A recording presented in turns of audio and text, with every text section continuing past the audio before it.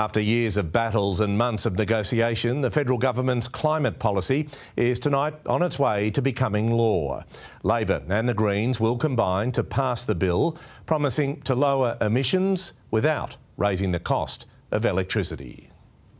In the greenhouse, the Green Bill given the green light. This is good for jobs, good for our economy, and also good for our environment. Months of climate negotiations ending with a new cap on emissions for some of Australia's biggest polluters, drastically reducing Australia's carbon output. The climate wars are in retreat. It's one thing to decarbonise the Australian economy, but you don't want to decapitate it on the way. The opposition warns electricity prices will rise in the short and medium term, but new coal and gas projects can still go ahead, only after passing a pollution test. This gives industry the certainty that it potentially needs to make the investments it needs to both keep the lights on and industry moving. Negotiating with Labor is like negotiating with the political wing of the coal and gas corporations. And despite that attack, the Greens will back the government in the Senate. Tonight, the next test a housing crisis. The government's plan would create the Housing Australia Future Fund,